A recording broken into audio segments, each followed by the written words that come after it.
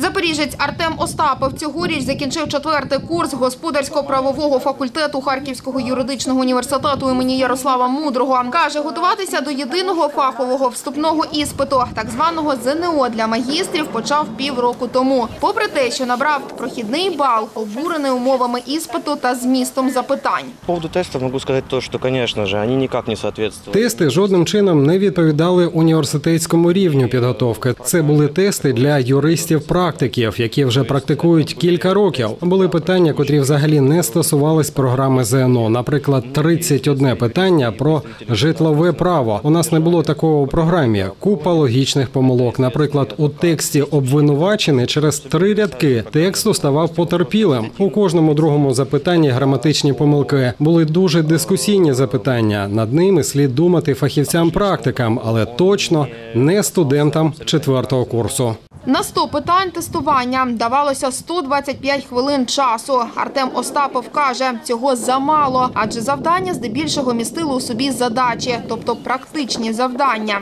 У нас как бы два экзамена в один день. Это логика и право. У нас в один день було два іспити: логіка та право. На перший іспит дали 75 хвилин. В принципі, це не важко. Але після того, як ми сиділи у задушливій аудиторії годину, нам видали тести справа і дали на це 125 хвилин. Чесно, в мене вже після логіки голова не працювала. А тут ще й сюрприз такий із завданнями. В цілому я в задушливій аудиторії провів близько 4 годин. На кожну задачу не на практичне завдання, а саме задачу дали по одній хвилині. Ще й почали у процесі перевіряти нас із металошукачами. Ну це нормально взагалі. Доцент кафедри юридичного факультету Запорізького національного університету Наталя Верлос каже, цьогоріч тести для магістрів дійсно були важкими та містили помилки.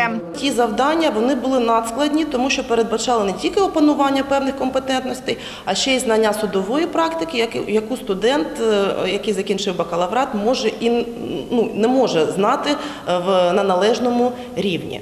Були також і орфографічні помилки, ну і це проблема загальнонаціонального рівня. Було багато задач кейсів, е, які передбачали знання судової практики, і ну, яку брали з, реєстру судових рішень. А це дуже і дуже складно. Ряд питань були такі, що можна було на загальних знаннях, ну можна так сказати.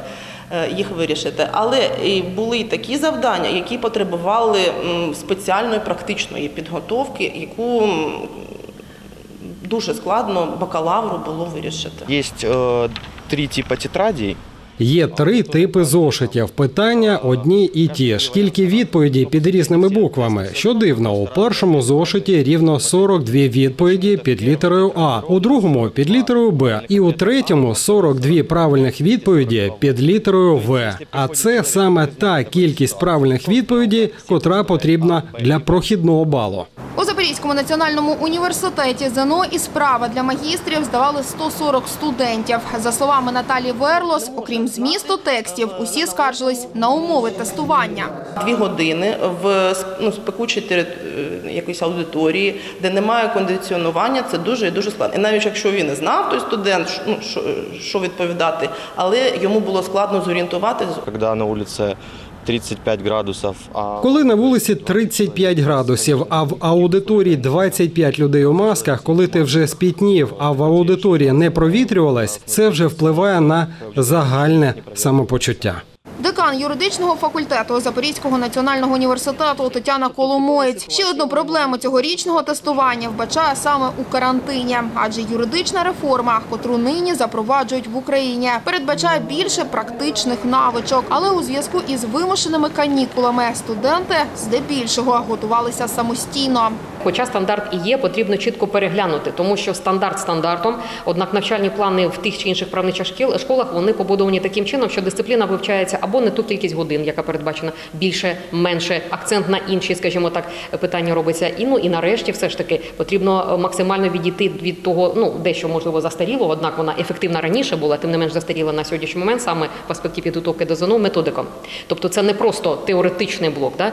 Ми говоримо про компетентності. І акредитаційні комісії звертають увагу на те, що повинна бути саме е, практична компетентність. Тобто ці кейси, діти повинні відчувати себе комфортно, тобто та ситуація, яка в які вона потрапляє під час ЗНО, вона повинна для неї бути звичною. Нині студенти подали апеляційні скарги стосовно єдиного фахового вступного іспиту і справа. Головна вимога – знизити прохідний вступний бал. 13 липня профільний комітет Верховної Ради розгляне ці скарги. позаминулому році був випадок, коли змінила правильну відповідь на е, одне питання і дискваліфікувала ще одне додаткове питання. Найвищу оцінку у 200 балів отримає той учасник тестування, не, е, не той, який виконав всі 100 завдань, всі 100 тестів, а той, який виконав тестування найкраще в країні. Тобто це є оцінка 200 оцінка 100 балів, тобто склав, вона буде дорівнювати тому пороговому балу, порогу склав не склав, який буде встановлений, встановлений 13 числа фаховою комісією. Альона Анталуха, Олег Стригунов. Новини на Суспільному. Запоріжжя.